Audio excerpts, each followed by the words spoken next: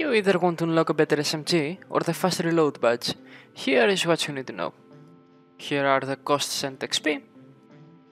You earn 111 XP for simply firing 100 bullets, 68 XP per kill, 149 XP if it's a headshot, and if it's an assist kill, it gives you 39 XP plus 10 or 28 XP depending on how much damage you dealt before someone stealing your kill.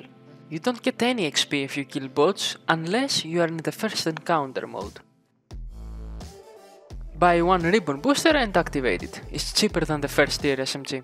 Remember that if you activate the ribbon 4 hours before their servers close for maintenance, they will refund it to you once they are back online and you can use it again whenever you want. Also, it does not matter who bought this ribbon, it will apply to all your soldiers from all factions once activated. Equip the scavenger badge and maybe a healing badge. Open the advanced settings and select Summer Depot first encounter mode. Now the game will likely put you alone against bots unless you are playing in the weekend or in the evenings where more people are online. Kill a bot that has an SMG and pick it up. Now start shooting at bots. Since the latest update, the bots are really bad at aiming in this map, so you can get close to them if you want and shoot them in the face.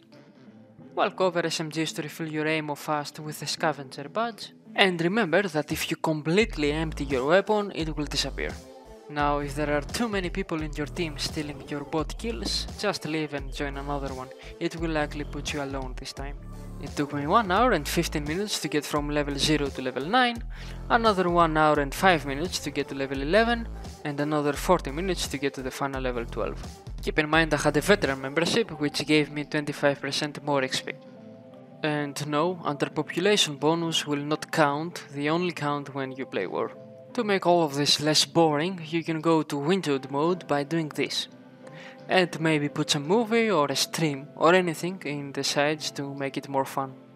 Also remember to turn down the field of view so you can see easier, bots can't really flank you anyways. If this is still too boring for you, then try playing War Mode, which gives you 50% more XP and you can claim the underpopulation bonus if your faction has any at the moment, but here's the deal. With my method you can get 30 or more kills and maybe 10 or more headshots in a 5 minute game, Meanwhile in war, it will be harder firing an SMG, staying alive or actually killing anyone that fast because you will be running across the fields most of the time instead of shooting at anything. Also, by the end of the grind, you will make back all of the credits you spent on the booster and even more to buy the next SMG. If they give out any veteran membership codes for everyone, I will announce them in my community tab and in my Discord server. Like the video and type something nice in the comments so YouTube will promote the video and I can reach a larger audience. Thanks for watching.